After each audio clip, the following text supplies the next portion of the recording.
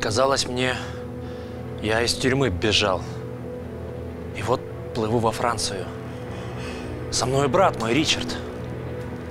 А вот мы по скользкой палубе ступаем, и вдруг мой брат споткнулся. Я к нему и поддержать хочу его, а он меня внезапно сталкивает за борт, и я лечу в ревущую пучину. О боже, как тонуть мне было жутко. Я видел тысячи распухших трупов.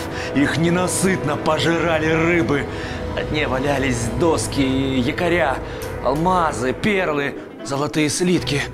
Порой они лежали в черепах. И там, где раньше искрились глаза, блестели жемчуга в пустых глазницах.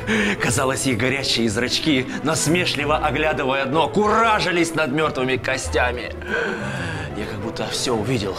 Пытался я скорее отдаться смерти, но злобная ревнивая вода моей души никак не отпускала. И грудь моя едва не разорвалась, стремясь низвергнуть душу в океан. Но этот сон и после смерти длился, и ураган ревел в моей душе, когда ее через поток унылый любимец бардов, лодочник Харон, повез бесстрастно в царство вечной ночи.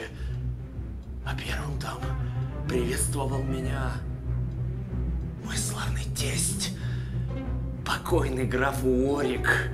Он закричал, заклятого преступления, какая кара Кларенса постигнет. Тут он исчез. Затем явилась тень. Светла, как ангел, вся залита кровью и запищала. Эй, да это Кларенс! Презренный, лживый, вероломный Кларенс! Меня в бою при Тьюксбери сразил он. Эй, фурии, пытать его до крепче. Тут сотни омерзительных созданий вокруг меня сгрудились и завыли пронзительно и злобно прямо в уши. Я от воя этого проснулся. О, как ужасен был мой сон!